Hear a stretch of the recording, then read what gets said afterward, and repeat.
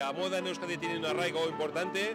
Desde la Agencia Vasca de Turismo además apoyamos en la moda, Valenciaga, el centro de, de- de dise- de diseño de encartaciones y la moda tiene además buenos embajadores en Euskadi, desde luego Valenciaga entre ellos y tantos modistas y modistas que trabajan con una calidad estupenda y ponen a Euskadi Basque Country a nivel de Estado y a nivel internacional pues en buen lugar. Yo creo que hoy en día la moda está siendo uno de los tractores de la economía claramente y tenemos que seguir trabajando para que lo sea. Y además no solamente de la economía de la moda también, de la economía del país, eh, que los turistas que vienen aquí y que compren producto local de diseñadores vascos y diseñadoras vascas y creo que es muy importante para nuestra economía y va a seguir evolucionando mucho. Un, un privilegio, un honor. eh, la verdad es que muy contentos de estar aquí, de estrenar eh, Merina, eh, nuestro espectáculo tan querido y de, de hacer de la moda pues eh, algo más transversal, eh, cultura, arte y por supuesto espectáculo. El carácter diferencial es lo que nos ayuda a todos a seguir creciendo y a seguir desarrollándonos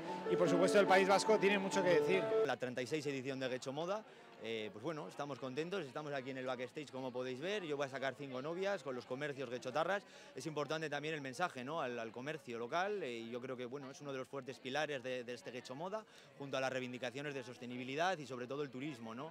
el hecho de estar en un lugar tan emblemático como aquí, en la Campa del Oro, pues también es pues bueno, un poco interesante de cara al turismo. Y yo en definitiva creo que es un, un desfile que hay muchas cosas, hay desfiles internacionales, tenemos también diseñadores jóvenes. Y luego pues también tenemos el comercio que es maravilloso.